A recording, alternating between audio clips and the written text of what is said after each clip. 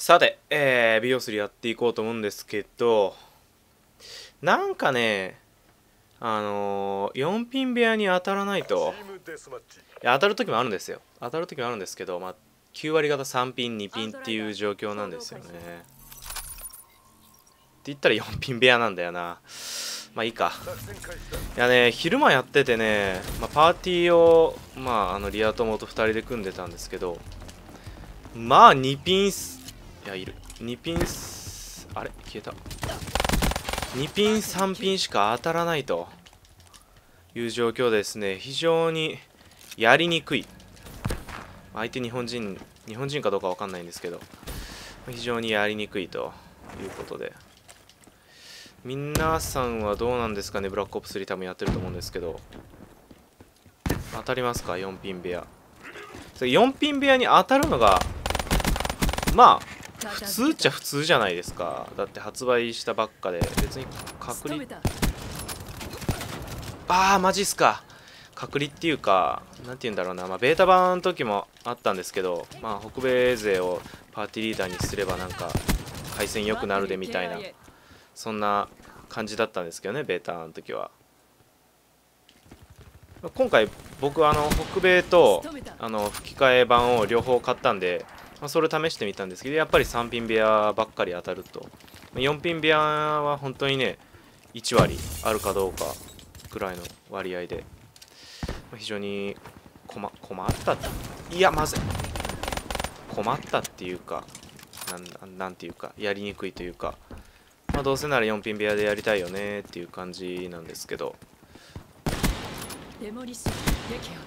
マジ？いるよねあれいなかった？今影見えたような気がしたんだけど。警戒してるよなやっぱな。ここのポジほんと。えあれ放置放置やつ。消えた。いや今のは俺がしくったな。帰ってくることなんで警戒しなかったんだろう。まあっていう話をね4ピン部屋に全然当たんねえぞっていう話を今日はしたかっただけです。今日つうか今回か。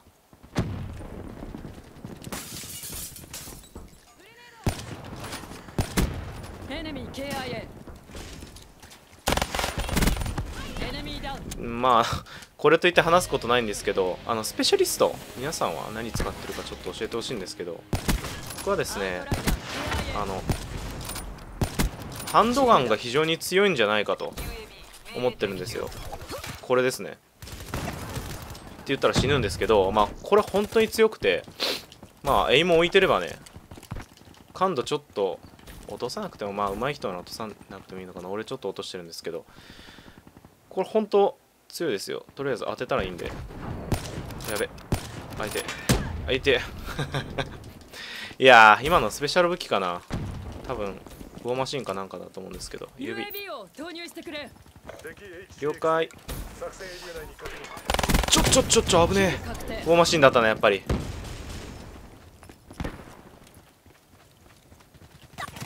うん反応早い。まああのー、武器のねスペシャリストとなんか能力のスペシャリスト選べるじゃないですか。どっち選ぶかなってなった時やっぱり能力じゃなくて武器なんですよね僕は多分ね使い勝手がいいのは能力の方じゃないかなと思うんですけど。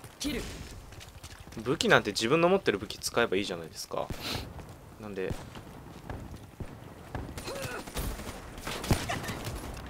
当たってねえのかさっきの。いやねスナイパーも難しいよねやっぱ今作。あのー、アイアンサイトは従来のスナイパーとなんかほぼ同じと思っていいと思いますよ。あのビオツの時にあったバリスタのアイアンサイトとかとほとんど同じだと思っていいと思うんですけど。あいかんせんやっぱ普通のスコープのスナイパー難しいよね。待ってたのか。ドラッグの感覚が未だにつかめない。やっぱクイック当たっちゃう。あ撃てなかった。ごめん。ごめんごめんごめんごめん。ちょっと。やっぱりなんかね感覚つかめないよね。頭出せ頭出せ頭出せ頭出せ頭出せ頭出せ頭出さない。ああいるね。いや危ねえ。ちょっとハンドガンにすごい頼りすぎてるけど。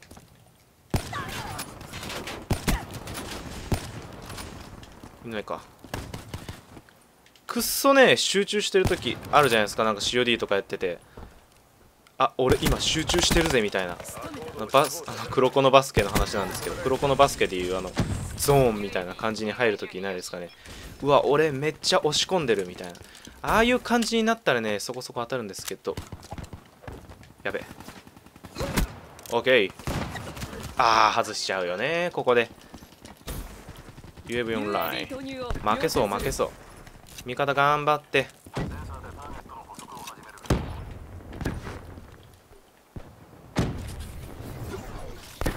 来ないかいや来る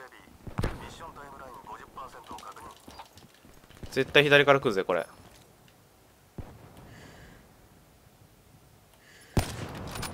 マジ？マジか。